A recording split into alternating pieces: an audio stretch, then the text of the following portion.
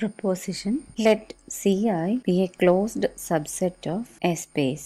X i for i element of i. Then product ci over i element of i is a closed subset of product xi with respect to the product topology. In this proposition we have claimed that product of closed subsets will be closed in the topological product to prove it, let us label the Cartesian product product xi as capital X and product ci as capital C. We need to show that C is closed. For this, we claim that x minus C is an open subset. So, we are going to show that x minus C is a neighborhood of each of its points.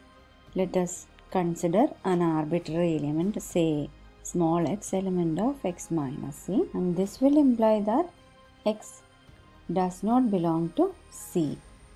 C is equal to product Ci and it can also be expressed in the form intersection over i element of i pi i inverse of Ci.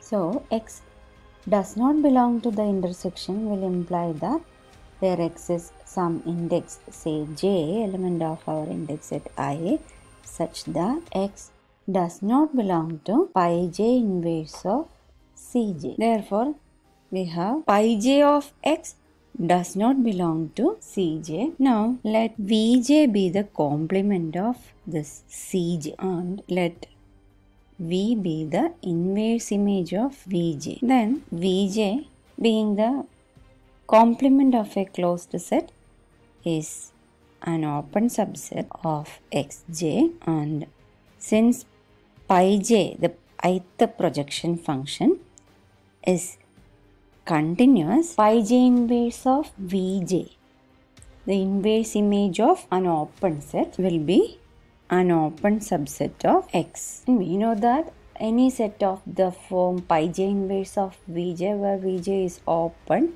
is in fact an element of the standard subbase itself. Also, we have pi j of x does not belong to cj which implies that pi j of x belongs to its complement that is x minus cj which we labeled as vj and this will imply that x is a member of pi j inverse of vj which is our set V. Moreover, pi j of C intersection with pi j of V is equal to Cj intersection with Vj and that is equal to phi. Therefore, C intersection V must be equal to phi. Thus, we have x element of V and V is contained in x minus c. Since c intersection v is equal to phi, we will have